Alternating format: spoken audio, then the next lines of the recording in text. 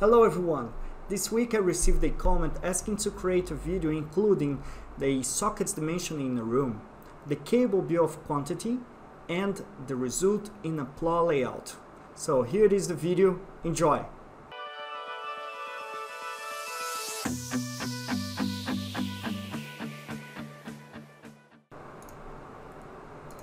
Alright, so depending on your region, you must have a norm that standardizes the minimum required number of sockets per room. But we can also uh, dimension the number of sockets thinking on the best comfort for the users. In this case, we have some furniture that can help us with that. And uh, I have previously defined some junction box in which I will connect the sockets. So I will click on a socket product database.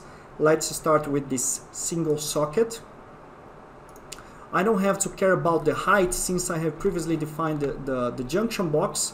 As you can see, it shows already the height and it will be connected to the same height of the junction box. Okay. Um, for the last one, I will exchange to a double horizontal behind this TV. Alright, so first step is the definition of the sockets in the room. Um, now I don't need I don't need this uh, furniture anymore, so I will hide them from the model, and I will connect these sockets to a circuit. So all all of these sockets will be in the same circuit. I will draw the cable with the size of 2.5 square millimeters. So I will start from this board. I will change the height to 2.44 and I will connect to this ceiling junction box. Now I will branch off and connect it to this junction box and to the other side as well. From here to this socket.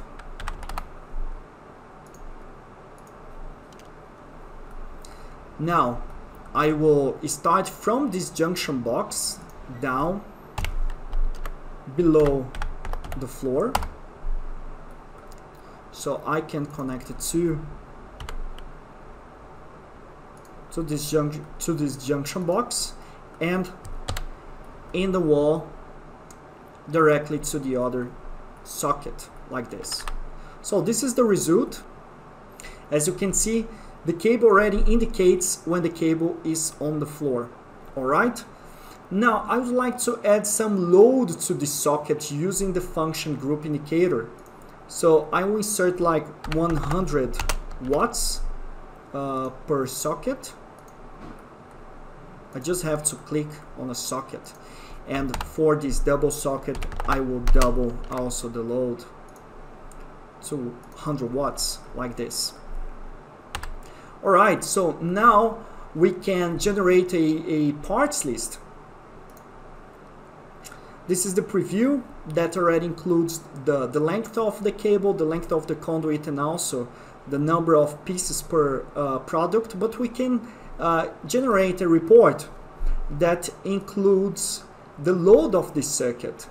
Since I have inserted the load for socket and we can also see the, the, the length of this cable for this circuit and also the load per, per socket and also the total value. At the end, let's just see the result in 3D. Okay. And um, I want to make this available in a plot layout. I'll make use of the parts part models function with a I will use this new polygonal. I will draw a polygonal geometry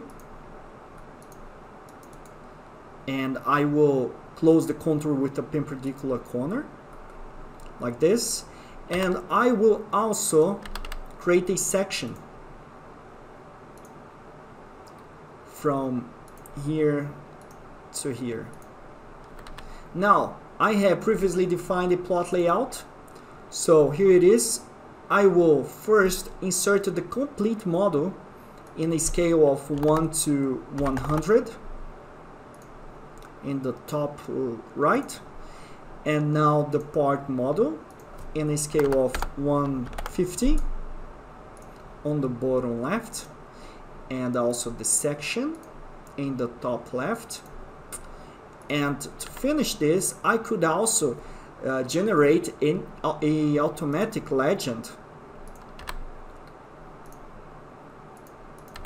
that includes all the component symbols that I have in my model right now. Okay, so this is the end result. Would you like to see more videos like this? So subscribe to our channel and hit the bell to be notified of the new videos. And what else would you like to know about DDS-CAD? Put it on your comment below and I can make a video for you. Cheers!